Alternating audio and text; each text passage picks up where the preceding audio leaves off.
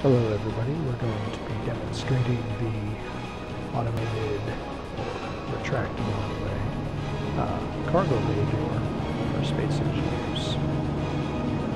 It's just a simple small ship with a bunch of heavy armored block making the door and some weighted cubes along the top and also on the bottom for the closing. The operational mechanism is the gravity generator row, alternating uh, push and pull. The way this works is the top ones upside down do the pulling that tug the door up.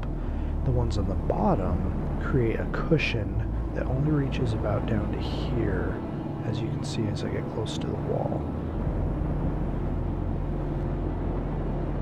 And uh, they create a cushion where it cancels out the gravity. Oh, well, you can't see it right now because the lower gravity generators are engaged, uh, which pulled the door down earlier. So it's showing a 0.3 G's of gravity going down. That's why. If that wasn't engaged, though, you would see that I'm in a no gravity zone here because I'm in the buffer of the two fighting each other. That allows the door to stop, assisting it with the arm thrusters so that it doesn't just crash straight up through same goes for going down. So anyway, identical system is underneath the platform as well. So what we're going to do is we're going to come to the control panel here. First thing we need to do is we need to shut off our lower generators, which I haven't bothered to name yet. So we're just going to go through and do it in sequence here. And this is a real pain in the ass. And some of you might be thinking, why can't you just have one or a few gravity generators? Because it'll accomplish the same thing. Well, that's true. But I find that it also causes my door to pull up crooked, even if I center it properly. I don't know why that happens, but I'd rather create a system that's a little more foolproof and less buggy.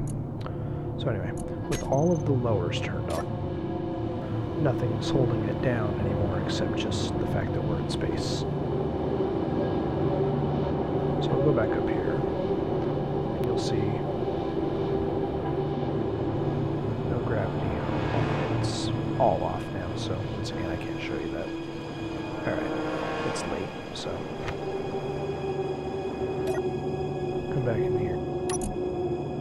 And we'll start activating these in sequence. Raise and raise cushion the system I described earlier. As I go through, you'll see the different settings. Raises don't have that restriction on their height.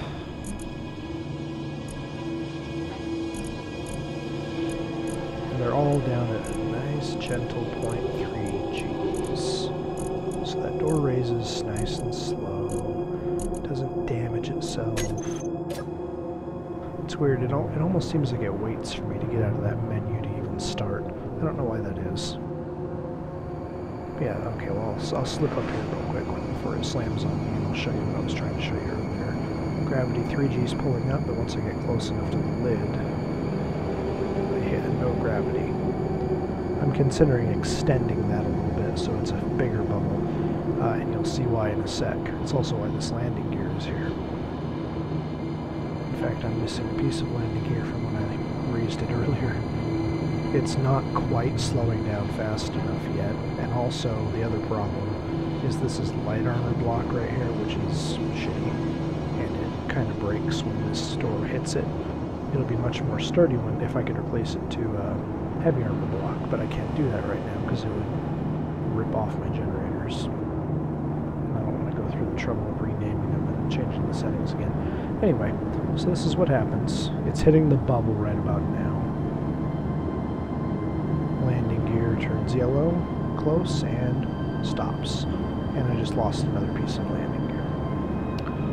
And it damaged light armor block. So I probably just need to bump these settings a little bit so that the bubble is bigger, but we won't worry about that. As you can see, our door is open. Our ships, theoretically, could fly, now, fly out now of the cargo gate, and I will close it the same way. But you know what? This is a really big video because it's on Fraps, so I'm not going to do that. but you can see how the mechanism works. It works the same way coming down. In fact, the impact is a little gentler on the way down, for some reason. A couple tweaks to my gravity generators and perfect, but even now, it's surprisingly adequate how the system isn't damaging itself anymore, because uh, this is really just a small ship, and it doesn't drift to either side. It fits quite snugly in between these two uh, restrictor rails in the front and back. Uh, my old design was large ship blocks and it was quite destructive, but this one works very well and uh, isn't causing too much damage or any damage to the the slots, which is fantastic. Just in case it was, though, it's a heavy block. Do keep in mind this is a system that requires maintenance, though. You know, you are going to have to come through with a welder every now and again. Replace a piece of landing gear. If you're really unlucky, maybe a couple mass blocks. But uh, the biggest issue is having to flip and toggle all those gravity generators. You can make your system with one or two in the center if you want, but uh, I'm telling you it's going to wind up pulling it up crooked every now and again. So that is the retractable cargo door. Go ahead and enjoy that and build yourself one on your ships. And uh, somebody let me know in a comment if you find one that operates on a piston, because I'd love to try one of those. I like the gravity, but a piston one would be much more um, fun. Anyways, thanks for watching, and uh, see you later.